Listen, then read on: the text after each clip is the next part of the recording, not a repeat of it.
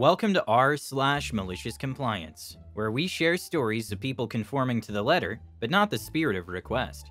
And today we have three great stories, so subscribe, hit the like button, and let's begin. The first story. Supervisor thought that I was doing a lot of work and ordered me to do less work.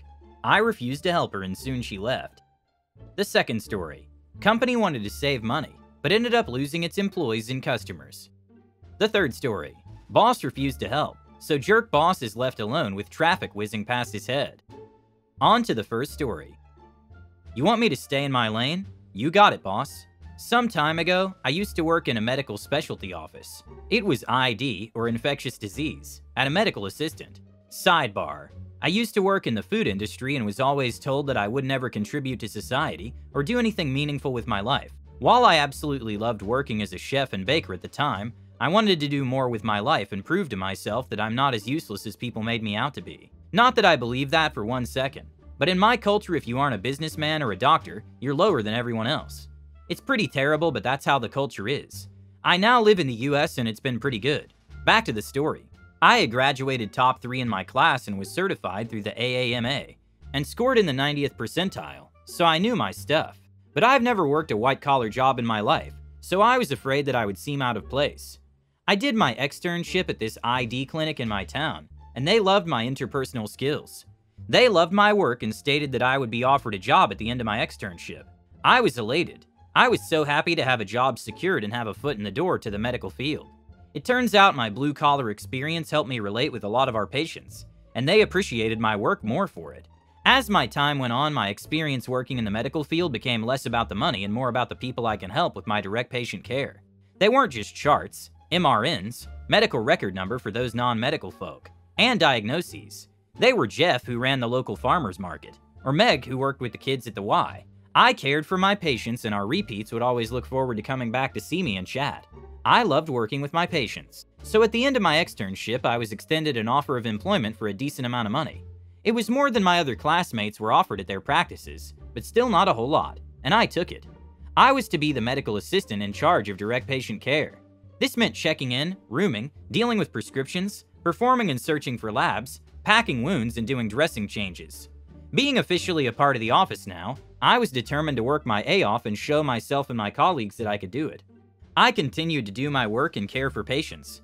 However, over time I would notice certain things that weren't in my job duties, that I could do that would help care for the patients. Certain things like calling their doctors for updated orders, or checking for records from local hospitals. Also helping patients find good home health or SNFs, skilled nursing facilities, generally the medical scheduler's job. This also included looking into insurance coverage, billing, and checking referral statuses, referral coordinators, among other things. Doing these tasks meant a bit more work on my end, but also meant the best care that I could offer to my patients. This went on for a year, and my patients were happy and willing to come to appointments. Apparently, not a whole lot of people like to come to a building that has the words infectious diseases in big print on its side. Then one day out of the blue, I'm called into my supervisor, Young, naive me thought, oh great, they see how hard I'm working and I'm finally getting recognized. Maybe they'll promote me to lead. Nope. My boss Shelly told me that I'm working too hard and sticking my fingers into too many pots. I asked where this was coming from. She stated that I was staying more than 5 minutes late too many times, and it's because I'm doing too much work. She said we can't keep paying you all this overtime. I think I was maybe making 30 minutes OT at most. She said that's still too much. I'm doing too much work. I was baffled absolutely stunned. I thought I was doing the practice a service, but she undermined the entirety of the last year's hard work I put it. I was frustrated and a bit upset, but tried my best to remain professional. So I asked her what she would like me to do, and the next words out of her mouth were ones she would come to regret.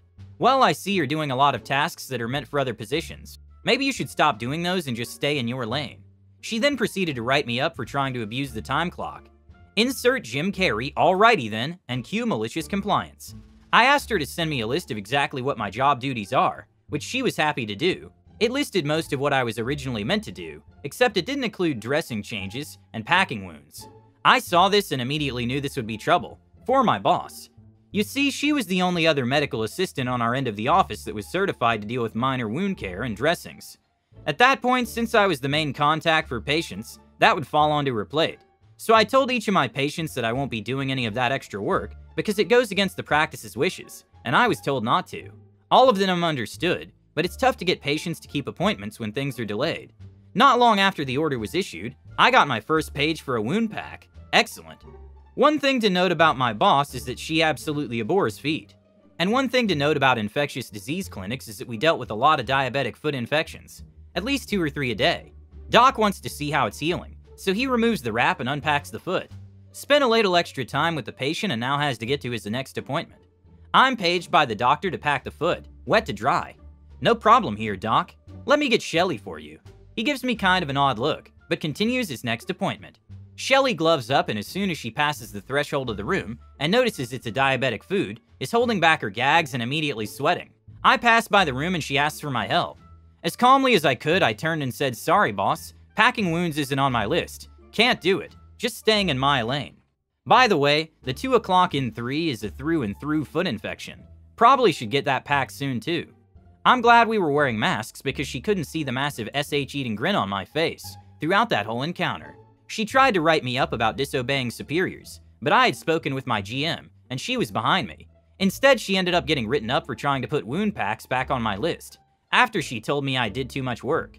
She ended up having to do part of the medical schedule's job, part of the referral coordinator's job, and part of the billing office's job, as she had let go one of our front desk staff, because there was not enough work to go around. There was plenty of work, I was doing it. She didn't last long after that, the burnout got to her and she stepped down from her supervisor position four months after that. They ended up hiring another super and I left the practice shortly after I got the vid. They told me to come back into work after three days, and still very sympathetic, so I told them I wouldn't endanger my patients like that and to shove it.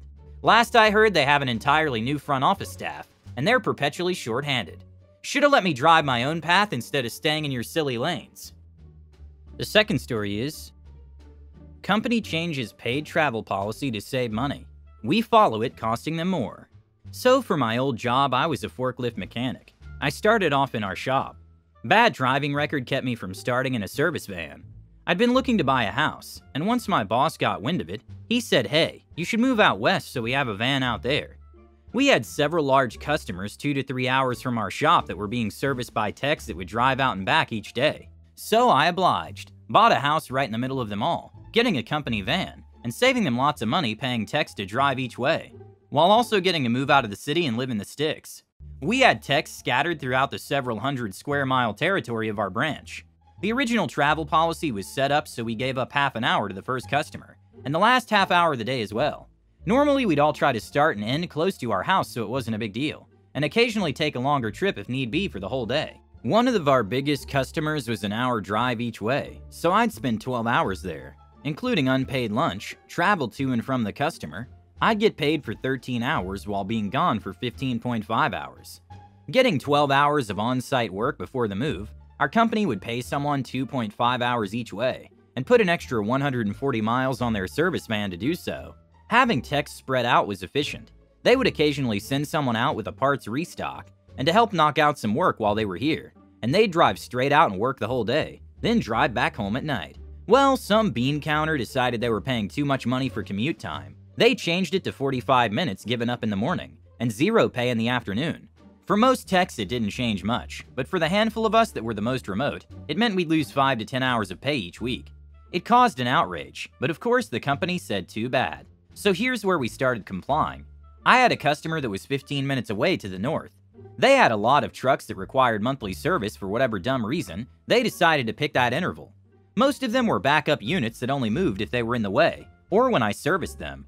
So I'd start my day there, do the 45 minute check on a truck that was in the same spot it was last time I checked it, then drove back past my house to the customer, on the clock, wasting a solid half hour of the day driving extra, and then repeat in the afternoon. We all did this and our efficiency dropped. Now instead of changing the rule to not suck, they started writing us up. Eventually we all started quitting. I pursued my side hobby and turned it into a business. Ended up renting a shop next to the biggest customer we had out here, and get to see two vans parked there almost every day, from the main branch. I laughed knowing how much they were wasting sending them both out almost daily. Several of my old customers would see me around town and say, Man, I wish you hadn't quit. We're switching companies now because the new tech sucks. Good job, bean counters.